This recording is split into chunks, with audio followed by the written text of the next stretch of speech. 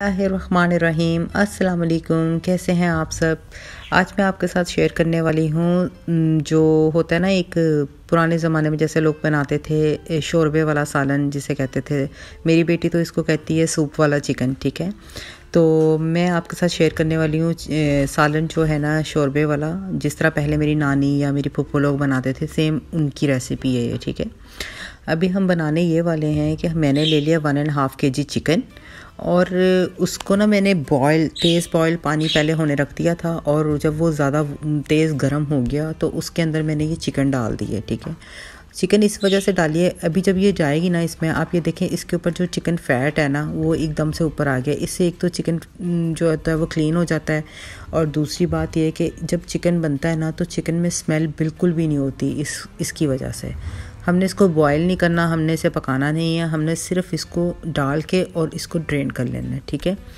उसके बाद मैं क्या कर रही हूँ, एक कढ़ाई में ले रही हूँ या पैन देज की जो भी आपके पास है, उसमें मैं तीन मीडियम साइज़ के प्याज ले रही हूँ, क्योंकि मेरे पास डेढ़ किलो चिकन है तो इसमें मीडियम साइज़ तीन जो है ना, थोड़े से बड़े, जो मीडियम से थोड़े से बड़े और बिग से थोड़े छोटे, वो वाले साइज़ तीन अदद लिए हैं मैंने।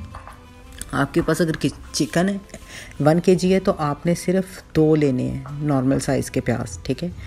इसमें एक जो है ना जो लहसुन है डेट लहसुन, पूरा मैंने जो पील किया हुआ, वो चाहिए होगा मुझे। मुझे इस दफ़ा प्यूरी में नहीं चाहिए, मुझे पील हुआ हुआ चाहिए।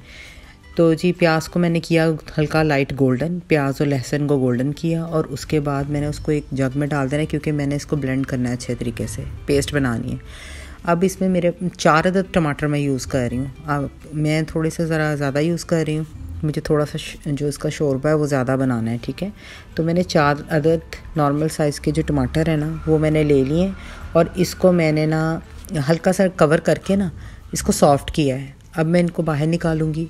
वो इस वजह से कि मैंने इनकी स्किन पील करनी है। वो क्योंकि अगर ऐसे में डालूँगी ना तो आपके छिलके जो हैं वो उसमें ब्लेंड में जो ब्लेंडर में ना वो ब्लेंड हो जाएँगे अच्छे से।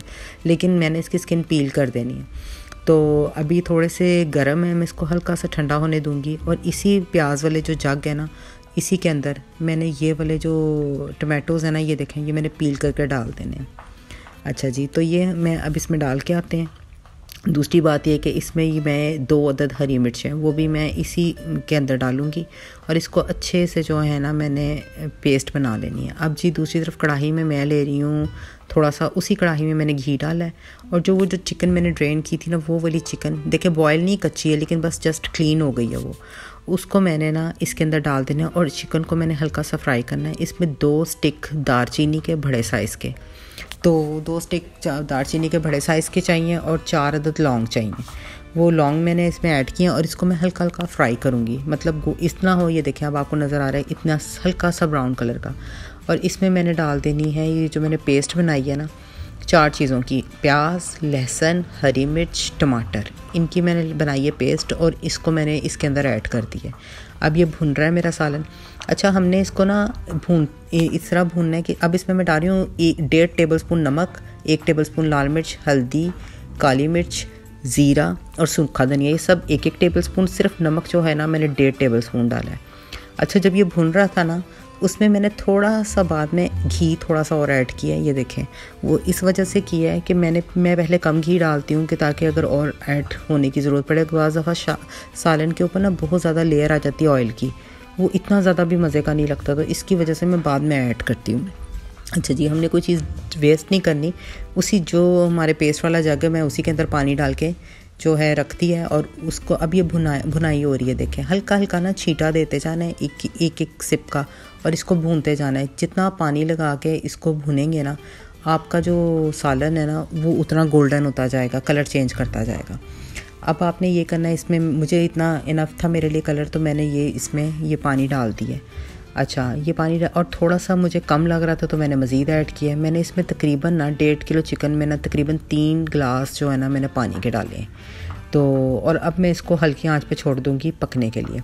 अब ये सालन हल्की आँच पे बॉयल हो रहा है, यानी कि इसकी यखनी निकल रही है। इसको आपने ना पंद्रह मिनट हल्की आँच पे रखना है। उसके बाद आपने इस पर धनिया, अदरक और हरी मिर्च दम पे लगानी है दो मिनट के लिए और गर्म मसाला डाल के सर्व कर देना है, ठीक है? द्रुशी पढ़ते रहें, एक दूसरे के लिए दुआएँ करते रहा करें। In next time next video में आपके साथ मुलाकात होगी। अल्लाह हाफिज़।